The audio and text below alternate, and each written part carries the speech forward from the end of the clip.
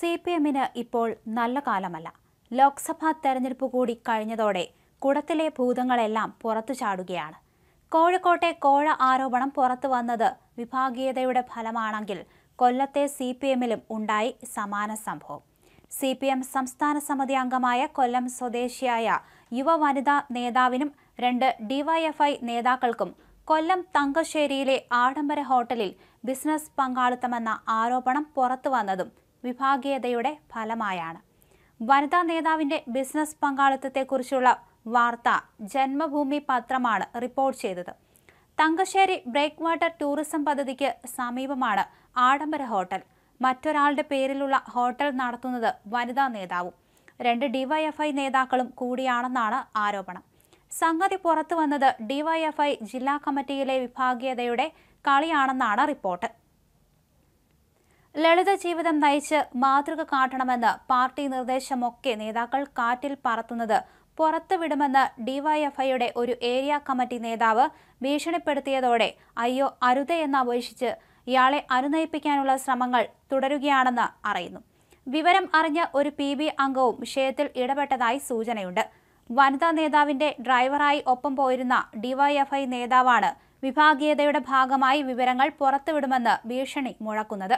അതുകൊണ്ട് തന്നെ ഇയാളെ അനുനയിപ്പിച്ച് പ്രശ്നം നാട്ടുകാർ അറിയാതിരിക്കാൻ കൊണ്ടുപിടിച്ച ശ്രമം തുടരുകയാണ്. വനിതാ നേതാവിന്റെ ബിസിനസ് പങ്കാളിയായ ഡിവൈഎഫ്ഐ ജില്ലാ നേതാവിന്റെ വിശ്വസ്തനും ഇപ്പോൾ കാലുമാറി ശത്രുപക്ഷത്തായെന്നും റിപ്പോർട്ടിൽ പറയുന്നു. കൊല്ലത്ത് ഡിവൈഎഫ്ഐയിൽ ഉടലെടുത്ത ശക്തമായ വിഭാഗീയതയാണ് ഇപ്പോൾ പാർട്ടിയെ നാണക്കേടിലാക്കുന്ന ആരോപണങ്ങളിലേക്ക് നയിച്ചത്.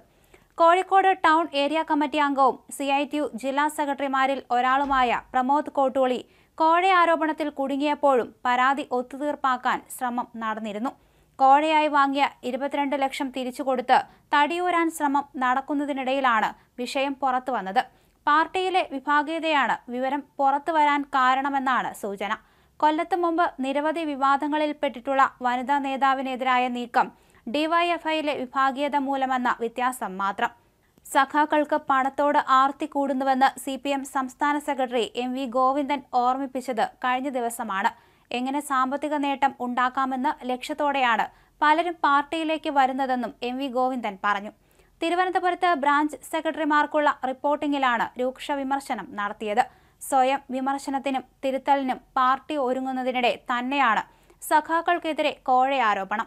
ആഡംബര ഹോട്ടൽ ബിസിനസ് പങ്കാളിത്തവുമൊക്കെ ഉയർന്നു വരുന്നത്. എന്തായാലും തുടർച്ചയായ കോഴ ആരോപണമാണ് ഇപ്പോൾ സി പി എമ്മിനുള്ളിൽ കല്ലുകടിയാകുന്നത്. അത് നേതാക്കൾക്കിടയിലും ഇത്തരത്തിൽ പ്രശ്നങ്ങൾ സൃഷ്ടിച്ചിട്ടുണ്ട്. അതുകൊണ്ട് തന്നെ പാർട്ടിയിലെ പല ഇത്തരത്തിലുള്ള പ്രശ്നങ്ങളും ഒതുക്കി തീർക്കാനും ശ്രമം നടന്നിട്ടുണ്ട്. എന്നാൽ അതെല്ലാം ചേരി തിരിഞ്ഞുള്ള പോരാട്ടത്തിനൊടുവിൽ പുറത്തു വരികയാണ് പതിവ്.